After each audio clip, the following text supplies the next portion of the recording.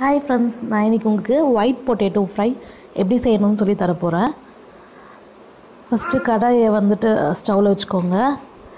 Heat ஆனதும் அதில் நீங்கள் ஆயில் ஊற்றணும் நான் கோல்டு வினர் தான் யூஸ் பண்ணிகிட்ருக்கேன் இப்போதைக்கு. அது சின்ன ஹோல்டுறதால நிறைய ஊற்றுற மாதிரி உங்களுக்கு தெரியும். நெக்ஸ்ட் ஆயில் ஹீட் ஆகணும் நல்லா. ஹீட் ஆனதுக்கப்புறம் நீங்கள் கடுகு உளுத்தம் பருப்பு போட்டுக்கலாம். என்கிட்ட கருவேப்பிலை இன்னைக்கு இல்லை. இருந்தால் அதுவும் ஆட் பண்ணிக்கலாம். கடுகு வெடிச்ச உடனே கருவேப்பிலை போடணும். கடுகு நல்லா பொரிஞ்சிருச்சு. இதில் வெங்காயம் பச்சை மிளகாய் போட்டுக்கிட்டேன். கருவேப்பிலை இருந்தால் இன்னும் நல்லா டேஸ்ட்டாக இருக்கும். நல்லா ஃப்ரை பண்ணிவிட்டு அதில் லைட்டாக சால்ட்டும் ஆட் பண்ணணும். ரொம்ப இதுவாக இருக்கக்கூடாது. ஃபுல் சிப் ஃபுல் ஹையில் இருந்துச்சுன்னா உங்களுக்கு கருகிடக்கூடாது. அதுக்காக சிம்மில் வச்சுருக்கேன். இப்போ சால்ட் ஆட் பண்ணிவிட்டு உருளை உருளைக்கிழங்கு போட்டிருக்கேன். பொட்டேட்டோ பார்த்தீங்கன்னா நீங்கள் உங்கள் சை உங்களுக்கு பிடிச்ச சைஸில் கட் பண்ணிக்கலாம். நான் நார்மல் சைஸில் கட் பண்ணியிருக்கேன். கட் பண்ண பொட்டேட்டோஸ் ஆட் பண்ணிட்டேன்.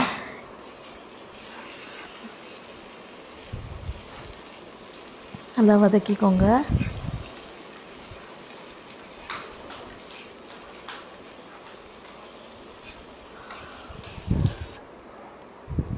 நான் அப்போ சால்வ் சொல்லியிருந்தேன் பட் ஆட் பண்ணல. இப்போ ஆட் பண்ணிக்கோங்க.